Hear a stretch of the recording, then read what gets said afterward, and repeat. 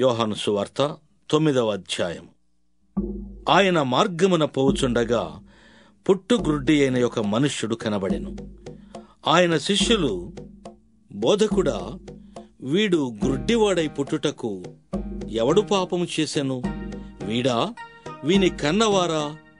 అని ఆయనను అడుగగా యేసు వీడైనను వీని కన్నవారైనను పాపము చేయలేదు గాని దేవుని క్రియలు వీని ఎందు ప్రత్యక్షపరచబడుటకే వీడు గ్రుడ్డివాడిగా పుట్టెను. పగలున్నంత వరకు నన్ను పంపిన వాని క్రియలు మనము చేయిచుండవలను. రాత్రి వచ్చుచున్నది అప్పుడెవడునూ పని చేయలేడు. నేను ఈ లోకములో ఉన్నప్పుడు లోకమునకు వెలుగును అని చెప్పాను.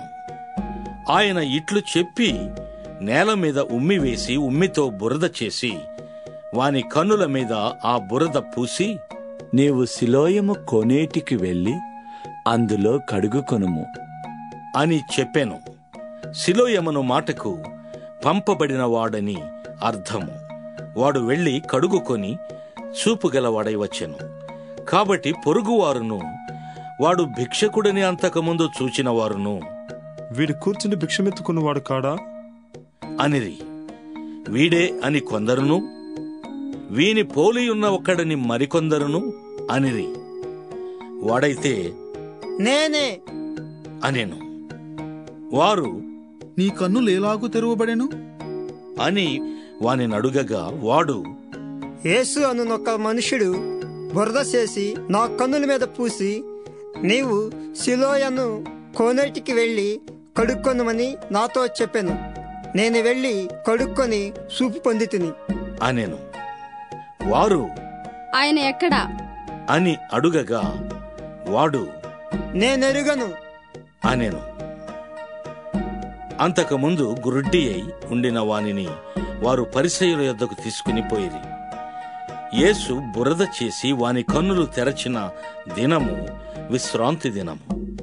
వాడేలాగు చూపు పొందెనో దానిని గూర్చి పరిసయులు కూడా వానిని మరల అడుగగా వాడు నా కన్నుల మీద ఆయన బురద ఉంచగా నేను కడుక్కొని సూపు పొంది తిని అని వారితో చెప్పెను. కాగా పరిసయులలో కొందరు ఈ మనుష్యుడు విశ్రాంతి దినము ఆచరించుటలేదు గనుక దేవుని యొద్ద నుండి వచ్చినవాడు కాడు అనిరి. మరికొందరు పాపి అయిన మనుష్యుడు ఇలాంటి సూచక క్రియ లేలాగు చేయగలడు? అనిరి. ఇట్లు వారిలో భేదము పుట్టెను.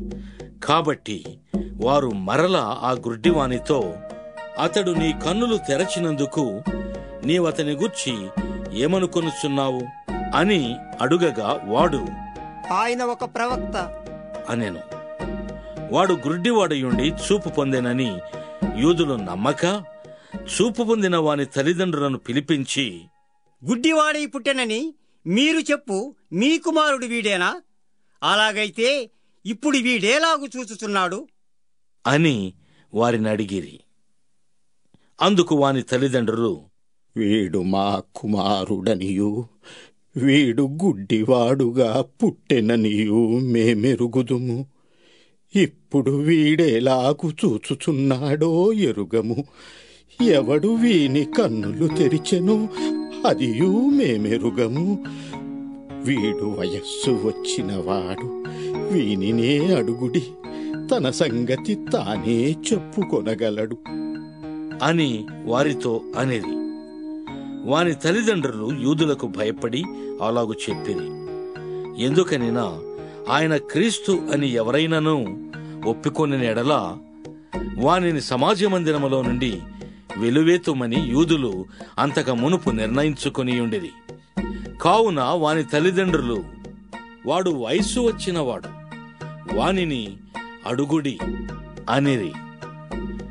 కాబట్టి వారు గ్రుడ్డివాడయుండిన మనుష్యుని రెండవ మారు పిలిపించి దేవుని మహిమపరచుము ఈ మనుష్యుడు పాపి అని మేమెరుగుదుము. అని వానితో చెప్పగా వాడు ఆయన పాపియో కాడో నేనెరుగను. ఒకటి మాత్రము నేనెరుగుదును. నేను గుడ్డివాడిన అయ్యుండి ఇప్పుడు చూచుచున్నాను. అనెను. అందుకు వారు ఆయన నీకేమి చేశాను నీ కన్నులు ఎలాగూ తెరిచెను అని మరలా వానిని అడుగగా వాడు ఇందాక మీతో చెప్పి తిని గాని మీరు వినకపోతిరి. మీరెందుకు మరలా వినగోరుచున్నారు? మీరును ఆయన శిష్యులగుటకు కోరుచున్నారా ఏమి? అని వారితో అనెను. అందుకు వారు నీవే వాని శిష్యుడు. మేము మోసే శిష్యులము. దేవుడు మోషేతో మాటలాడినని ఎరుగుదము గాని వీడెక్కడ నుండి వచ్చేనో ఎరుగం అని చెప్పి వానిని దూషించిరి. అందుకు ఆ మనుష్యుడు ఆయన ఎక్కడి నుండి వచ్చినో మీరెరిగిపోవుట ఆశ్చర్యమే. అయినను ఆయన నా కన్నులు తెరిచెను. దేవుడు పాపుల మనవి ఆలకింపడని ఎరుగుదుము. ఎవడైనను దేవభక్తుడయ్యుండి ఆయన చిత్తం చొప్పున జరిగించినడల ఆయన వాని మనవి ఆలకించును. పుట్టు గ్రుడ్డి వాని కన్నులు ఎవరైనా తెరచినట్టు లోకము పుట్టినప్పటి నుండి వినబడలేదు. ఈయన దేవుని యొద్ద నుండి వచ్చినవాడు కాని ఎడల ఏమియు చేయనేరడు. అని వారితో చెప్పాను. అందుకు వారు నీవు కేవలము పాపివై పుట్టినవాడవు. నీవు మాకు బోధింపవచ్చితివా? అని వానితో చెప్పి వాని వెలివేసిరి. పరిసయులు వారిని వెలివేసిరని యేసు విని వానిని కనుగొని నీవు దేవుని కుమారుని యందు విశ్వాసముంచుచున్నావా? అని అడిగాను. అందుకు వాడు ప్రభువా నేను ఆయన ఎందు విశ్వాసించుటకు ఆయన ఎవడు? అని అడుగగా యేసు నీవు ఆయనను చూచుచున్నావు. నీతో మాటలాడుచున్నవాడు ఆయనే. అనెను. అంతట వాడు ప్రభువా నేను విశ్వసించుచున్నాను. అని చెప్పి ఆయనకు మ్రొక్కెను అప్పుడు యేసు చూడని వారు చూడవలను. చూచువారు గ్రుడ్డివారు కావలను. అను తీర్పు నిమిత్తము నేను ఈ లోకమునకు వచ్చి అని చెప్పెను. ఆయన యొద్దనున్న పరిసయులలో కొందరు ఈ మాట విని మేమును గుడ్డివారమా? అని అడిగిరి. అందుకు యేసు మీరు గ్రుడ్డివారైతే మీకు పాపము లేకపోను గాని చూచుచున్నామని మీరిప్పుడు చెప్పుకొనుచున్నారు గనుక మీ పాపము నిలిచి ఉన్నది అని చెప్పాను.